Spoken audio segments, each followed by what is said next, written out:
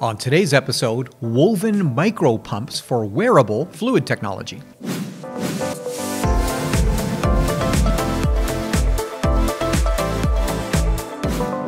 Today's episode is brought to you by Engineering.com, a globally trusted source for engineering content. Check out this and many other exclusive videos for the engineering professional found only on Engineering.com TV today.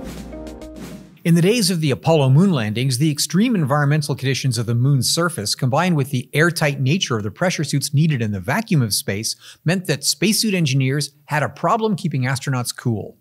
Now, the solution was to circulate fluid through a network of tubes sewn into an undergarment, then reject that heat through a heat exchanger. But what if fluids could be harnessed in this application for more than just temperature control?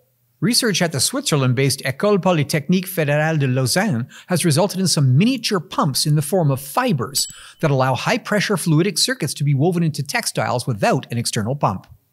Integrating the tubing into the fabric at the microscale level suggests interesting possibilities in support of exoskeletons, thermal clothing, and immersive haptics.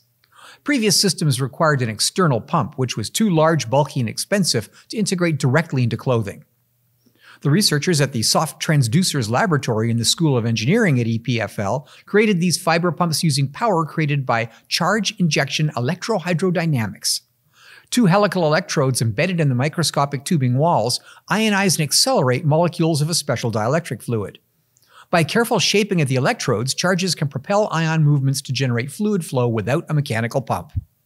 The EHD system operates silently with no vibration and can be powered with a pocket sized power supply and battery. Careful control of the flow in the network of tubes inside a garment could assist in muscle movement, heat or cool the body, and importantly, selectively compress areas of the garment.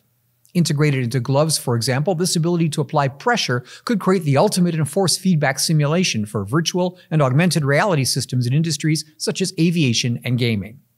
The 2mm fibers are fabricated with a novel technique.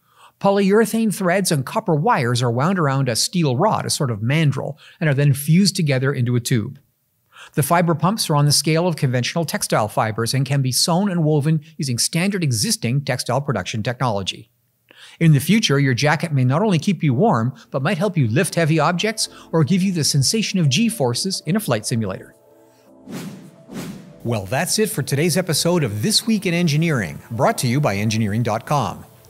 For our deeper engineering series, visit engineering.com TV for exclusive shows like Manufacturing the Future, Designing the Future, and the Engineering Roundtable, not found on our YouTube channel. The links are in the description below. Thanks for watching.